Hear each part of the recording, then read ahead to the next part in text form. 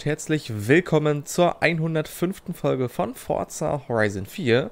Wenn man unschwer kennen kann, ist es der Winter. Wenn man ebenfalls unschwer kennen kann, fahre ich ein ziemlich offroadfähiges Auto. Ich hoffe, es ist offroadfähig, nämlich einen Offroad-Buggy von Alumicraft aus den äh, U, und A. Ein wunderbar, wunderbares Teil. Das Class 10 Race Car. Nochmal Design. Ich finde, Buggy ist eigentlich auch ziemlich geil. Vor allem, wenn die schnell sind. Und schnell ist er auf jeden Fall. Werde ich aber gleich auch noch testen nach dem Tuning. Denn mit diesem Auto möchte ich heute die Saisonmeisterschaft fahren. Erstmal ein, wenig Tuning. Ich kann euch beruhigen, der Wagen kommt nicht auf die Teststrecke. Das hatte ich jetzt nicht geplant. So, Antrieb kann ich wechseln auf Allrad. Brauche ich, glaube ich, erstmal nicht. Und Motor geht, kann wechseln auf den Top Rally Motor. Nö. Lass mal den Serienmotor. Ich habe über den Wagen nicht wirklich viel rausgefunden. Für sich Motor oder so, Antrieb und alles mögliche. Und welche Besonderheiten.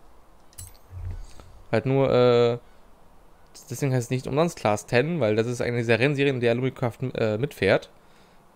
Es gibt auch andere Rennserien bei Alumicraft glaube ich auch, die machen auch Trophy Trucks, verschiedene Arten äh, von Buggies, auch verschiedene Untergründe. Der fährt jetzt hier, äh, ist für Desert Racing gedacht.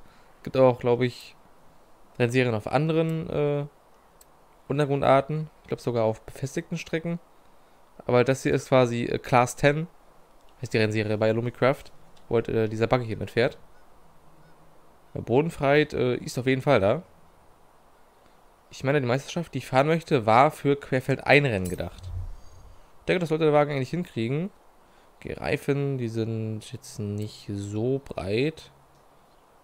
Einfach mal die dicken drauf machen. Obwohl das gar nicht mal so breit aussieht. Ich meine, 295er ist eigentlich eine Hausnummer.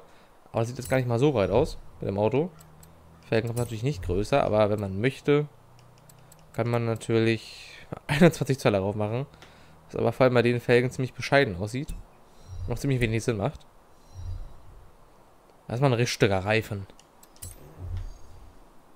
So. Kerngetriebe ist schon drin. Okay, Gewicht. Oh. Weil wir, glaube ich, knapp unter einer Tonne. Jetzt sagt dem breiteren Reifen bin ich natürlich schwerer. Das ist mir klar. Okay, knapp unter einer Tonne. Das ist schon amtlich. Okay, Bremsen. Nehme ich sehr gerne. Andere Reifenmischung geht auch nicht. Okay. Ich denke mal, die Serienreifen sind schon sehr Offroad-fähig. So, wir haben hier 2,4 Liter. Ich schätze mal ein Vierzylinder. Ich weiß es aber nicht. Saugmotor, deswegen auch nicht so viel Drehmoment. Ich könnte hochgehen auf 2,7 Liter. Wenn, aber wenn es ein Vierzylinder ist, sind halt 2,4 Liter Hubraum in der heutigen Zeit schon ziemlich viel. ich kenne eigentlich kaum Marken, die so große Vierzylindermotoren hat, außer äh, Porsche und Subaru mit 2,5 Liter Boxer Vierzylindermotor. Aus dem Cayman oder halt aus dem Impresa. Und, und Boxer natürlich. Aber sonst. An sich 2 Liter, Maschinen sind auch schon ziemlich groß. meistens so 1,4 Liter, 1,6 Liter oder dann auch 13 Motoren teilweise. Okay, der Wagen ist jetzt sogar A-Klasse. Ein bisschen Leistung würde ich schon haben. Die ist jetzt serienmäßig nicht gerade langsam.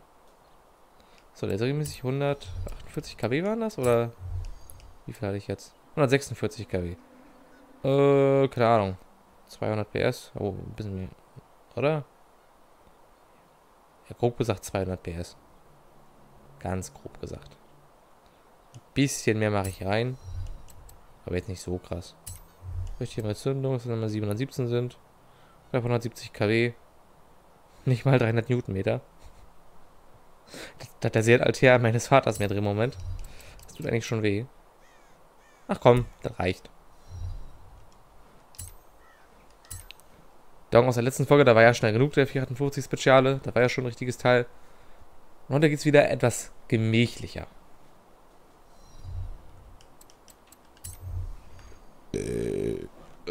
So, Top Speed ich immer 200. Oh, 206. Ja gut, die Fahrwerkshöhe ist schon nicht schlecht. Kann man so machen. Aber äh, wir wollten ja querfeld einfahren. Also Reifendruck runter, definitiv. Das ist fürs Gelände generell keine dämliche Idee, den Reifendruck und, äh, geringer zu machen.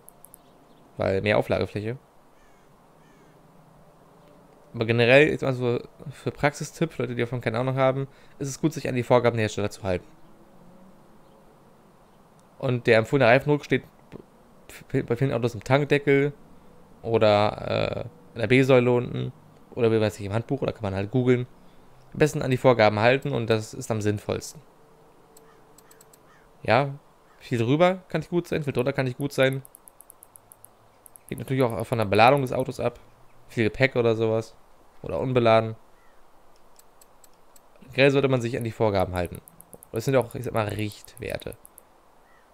Wenn das 0,2 Bar mehr macht, dann bitte keiner den Kopf abreißen. Das Auto wird auch dadurch nicht explodieren. Aber auf einmal in, äh, jetzt in mein Corsa 3,5 Bar Luftdruck reinknallen, äh, das ist ja keine gute Idee. Ich glaube, 1,5 Bar ist jetzt auch nicht so unbedingt förderlich. Weil mehr Auflage vielleicht, heißt auch nicht, dass man irgendwie einen Grip hat oder dass es sicherer ist.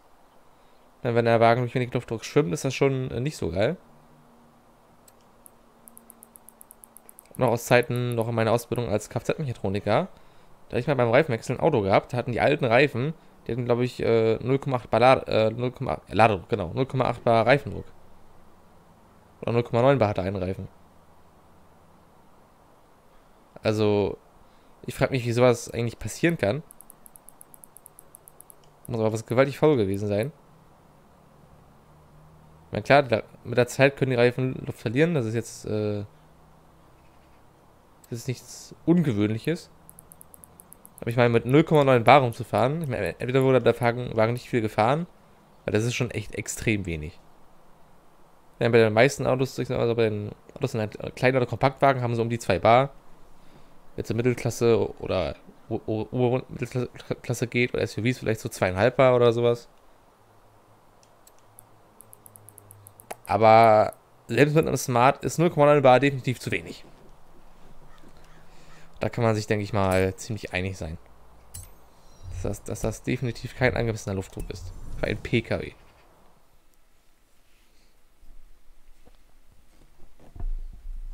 Für andere Fahrzeuge vielleicht oder für andere Fortbewegungsmittel. ich meine, auch Flugzeuge haben Reifen für die Landung. Ich weiß aber nicht, was da von Luftdruck äh, sein muss. So. Wieder eine Meisterschaft, Meisterschaft von der Community. Okay. In 100 Metern rechts abbiegen. So.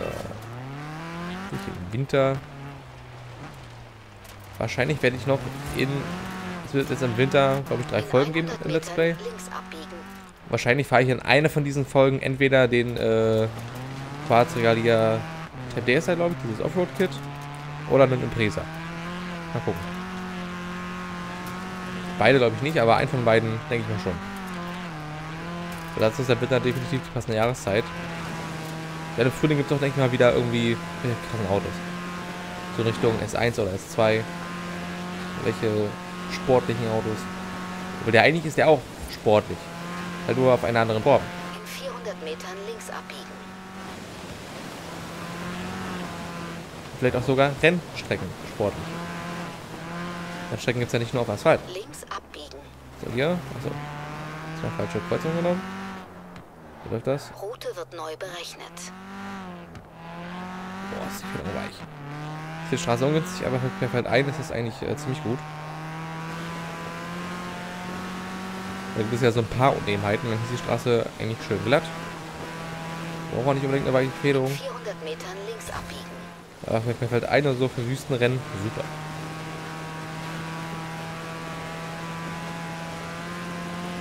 Das war echt weich, Alter. Und auch die Fahrwerkshöhe, ne? Über einen halben Meter. Rechts abbiegen. Oh ja. Ich hab mal gewissen, was der für Reifen hat. Also hier im Spiel. Ob der jetzt Geländereifen oder Offroad-Reifen verbraucht hat oder montiert. Ob es auch irgendwie andere oder spezielle Reifen sind. Man kann ja, könnte die Reifen schon nicht wechseln. Also das wäre ja nicht normalerweise möglich. Also auf dem Drag-Autobahn wird wahrscheinlich eher schwierig. Macht doch nicht so viel Sinn. Aber geht doch gar nicht, weil ohne Drag-Reifen. Wir sind ja noch kein Auto mit Direktreifen gefahren, aber allein was die Werte sagen, ist halt schon krass bei einigen Autos. Äh, Vor allem auch, was ich ein GT3 RS auf einmal eine halbe Sekunde schneller als von 0 auf 100. Das ist halt schon übel. Die Nase juckt. Das ist halt schon ungewöhnlich. In 400 Metern links Du ab. brauchst ja auch deswegen GT3 jetzt nicht gerade äh, schlechte Reifen haben. Das sind schon ziemlich gute eigentlich. Zumindest äh, wenn sie Straßen zugelassen sind.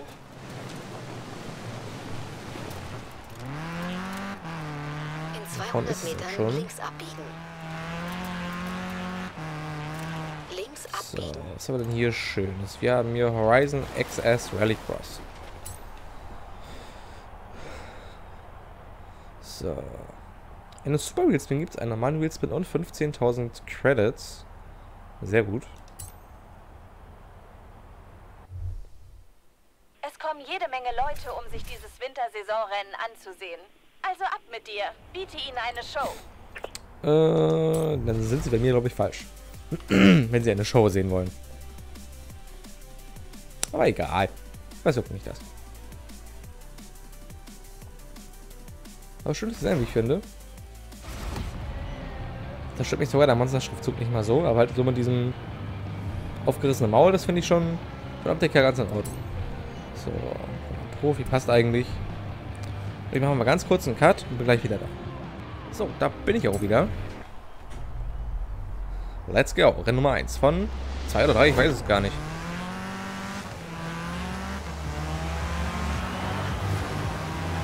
Schön knackiges Getriebe. Fahrzeug dann auch mal direkt erfüllt. Man merkt, auf Asphalt ist der Wagen nicht wirklich zu Hause. Fühlt sich nicht ganz so wohl. Aber ist irgendwie schon süß, ne? Bis jetzt klärt halt ein so Anteil, naja. Ich glaube, jetzt wird es gleich deutlich besser.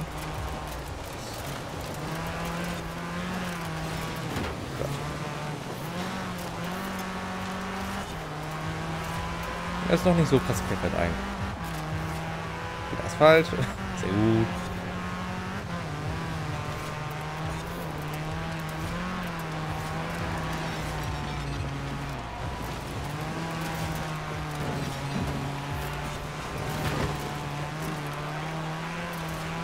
vom Fahrverhalten so ein bisschen was äh, von einem Porsche, und zwar deren Sicht, was das Heck betrifft. Wenn man unschwer erkennt, kann der Wagen ja auch einen Heckmotor, wie die 911er. Das sich auch in Forza ein kleines bisschen eigenartig. Oh Gott. Eine große Runde, ne? Das ist auch ein Sprintrennen, ja gut, Fabian. Große Runde, so viel dazu, ne? Einfach mal Augen aufmachen, dann siehst auch, dass es ein Sprintrennen ist. Ich weiß, Augen aufmachen ist schwer, vor allem am Wochenende. Alter, Junge. Weg da. Lass mal die wichtigen Leute durch. Okay. Nochmal rechts angerast. Die Checkpoints sind ziemlich eng gesetzt, also mal abkürzen oder irgendwie so wie ich es manchmal liebevoll nenne, Strecke ausnutzen. Ist hier, glaube ich, nicht so viel möglich. Weil ich auch die Strecke, Streckenführung relativ unübersichtlich finde.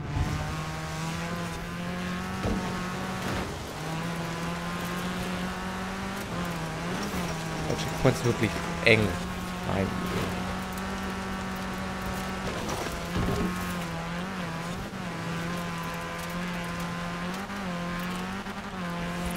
War das nicht eine perfekte Meisterschaft oder war das doch Birdland-Serie? Ja, das macht doch eigentlich auch Perfect 1 so ein bisschen mehr Sinn. Und wenn schon, denn schon, ne? Weil mit dem Lancia Fulvia war natürlich äh, die Serie schon eine gute Wahl. Das wäre Perfect 1 absoluter Bullshit gewesen. Ich meine, bei so einem Auto. Meine, das hat eine Bodenfreiheit. Brauchst du ja nicht mal eine Hebebühne für, wenn du den Wagen unterdrücken willst. Ölwechsel, ganz einfach. Also einfach von unten rankommen. Ist ja ganz entspannt bei dem Auto. Praktisch. Aber dafür nicht eine Hebebühne für den Ölwechsel. Kann einfach so drunter gehen. Noch genug Platz. kommt sogar ein dicker Mann drunter, oder eine, eine dicke Frau, oder eine schwangere Frau, oder ein schwangerer Mann. Der nur sagt, er sei äh, schwanger, aber wirklich dick ist.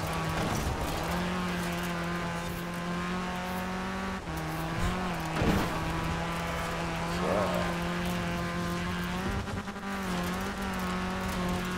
Das ist ein kleines bisschen eigenartig.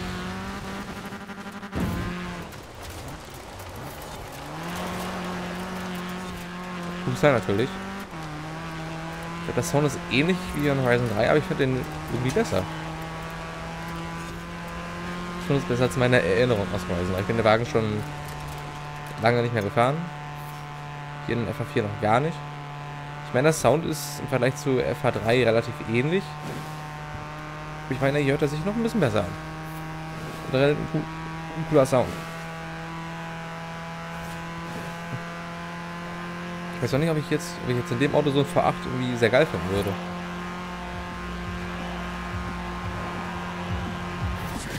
Bei jedem das seine, ne?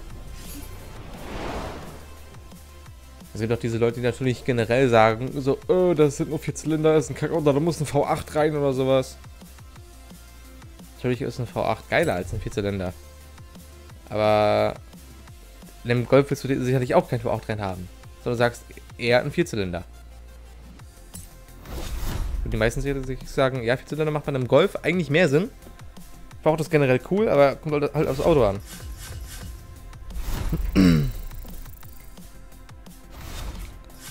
Deswegen. Ich finde V8 natürlich auch extrem geil. An dem Auto, ich weiß nicht, ob da so ein V8 cool wäre.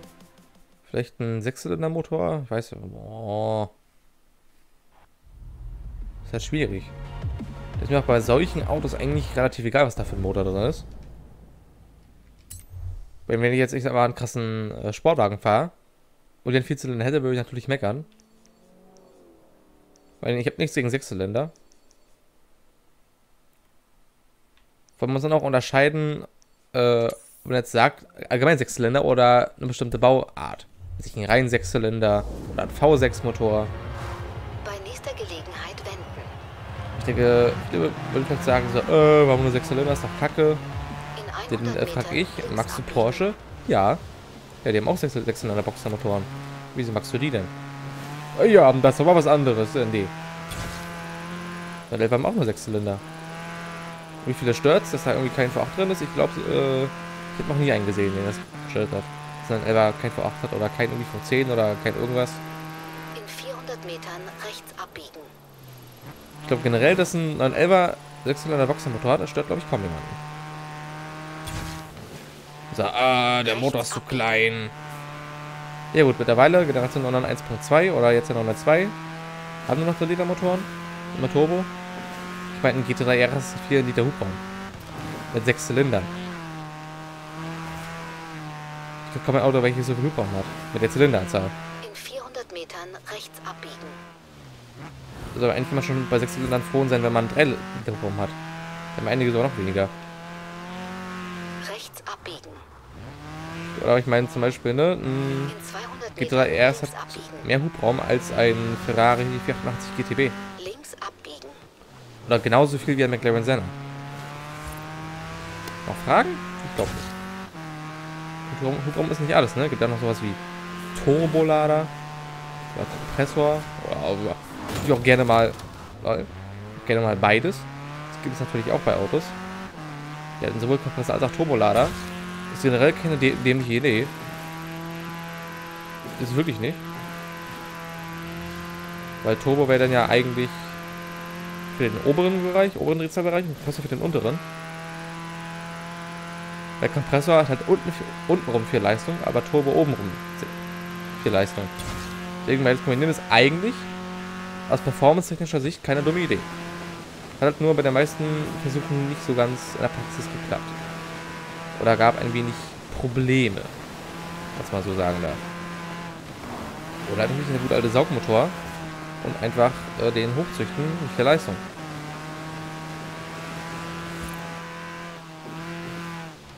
Halt mit eventuell viel Hubraum.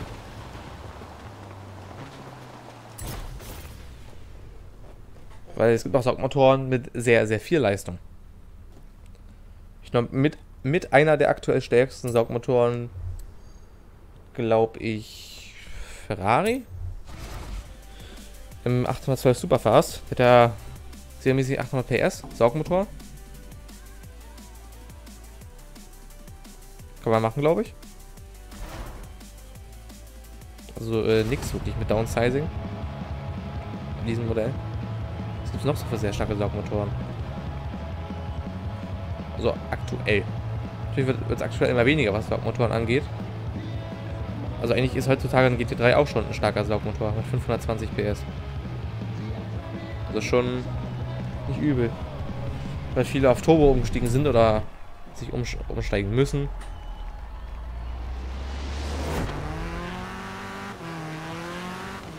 Halt Sauger, also vor allem vom Sound.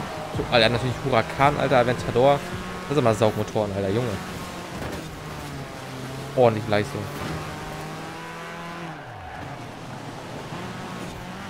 Natürlich mit Turbo wäre da noch mehr los, alter. Vielleicht stelle ich mal eine Aventador oder so mit Twin Turbo vor, was da an Leistung geht.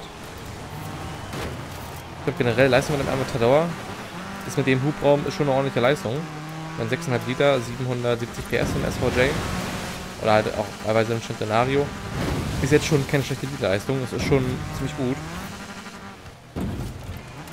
Weil die 3 ist halt auch für 4 Liter Leistung. Das sind 520 PS. Ich meine, das sind 130 PS Liter Leistung. Das ist einfach nur... Das ist krank. Oh. Das war nicht gut. Es gibt wirklich kaum Serienautos, die mehr als 130 PS Liter Leistung haben. Das sind nicht viele. Nicht weit oben von der Leadleistung spielen halt noch einen 18 Spider, 458 Speziale. Alter, was ist denn los mit dem Wagen? Meine Hochleistung haben halt auch natürlich Huracan oder so, R8. Die haben halt, äh, so auch noch relativ viel Hubraum. Oder wie es die Amis machen, machen einen riesen Motor, aber trotzdem Kompressor drauf. Weil, warum auch nicht? Der hat Drehmoment wie sonst was. Was ich Corvette Z6 hat nur rund 660 PS, aber fast 900 Newtonmeter. Ja, also. Ich glaube, da beschwert sich auch keiner, dass, weil das Ding Kompressor hat.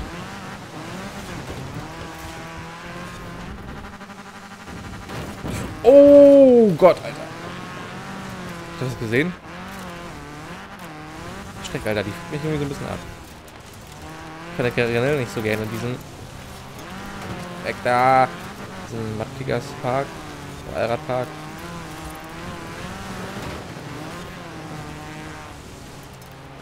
Könnt ihr sogar, hallo, vorstellen, dass dem Wagen Allrad gut tun würde? Weil man dann auch noch mehr Leistung reinmachen möchte. Was ich glaube ich aber nicht tun würde. Das braucht er eigentlich gar nicht. Ich glaube, es hat Offroad als so eine Frage. Natürlich für Leistung ist geil. Aber wenn die Räder dabei nur durchdrehen, dann macht das ja auch keinen Sinn. So viel PS reinzuknallen. Ja, ach so, ja geil. Räder drehen durch. Aber bringt halt nichts. Ist langsam. Deswegen auch so ein bisschen äh, mit dem Funko Motorsports F9. Klar, cool, mein dass 1700 PS hat wenn man die auf die Straße bringen kann, kann er die PS relativ gut. Da gibt es schon deutlich schlechtere Autos. Aber so generell ist die Belastung halt gerade Offroad extrem. Ja, auf der Straße ist es auch nicht gerade besser. Da ist auch ein Königsegg. Klar, so 1360 PS, das ist cool, dass man das was geht, oder... Nee, das... das aber sich ein Hennessy Venom. Aber halt Räder drehen da durch. Sondern Dinger sind auf Rennstrecken nicht so schnell. Das Auto mit deutlich weniger Leistung, deutlich schneller. Deswegen irgendwann ist dann einfach auch zu viel. Wo es noch halbwegs geht, ist äh, ein Bugatti. Die sich ein Chiron oder Veyron, die können die Leistung dann auch auf auf die Straße bringen. Ich finde gerade bei über, so über 1000 PS finde ich jetzt, das war eigentlich Allrad eine ziemlich kluge Idee. Wenn man irgendwie halbwegs Grip hat. Und nicht nur bis 180 oder so Wheelspin hat oder so extrem reinregeln muss, dass man nicht beschleunigt.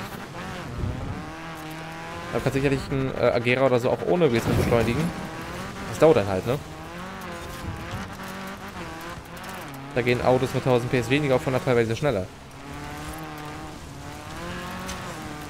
Da will ich es nicht alles noch auf die Straße kriegen. Der Phoenix Deck nicht so gut schaffen. Das ist halt schwierig.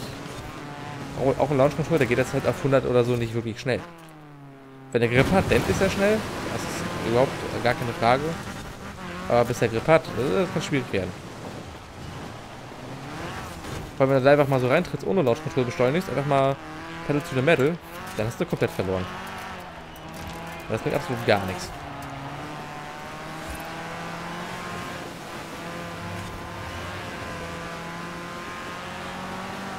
Weil jeder wie er möchte.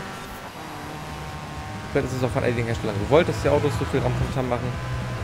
Sind auch einige natürlich cool.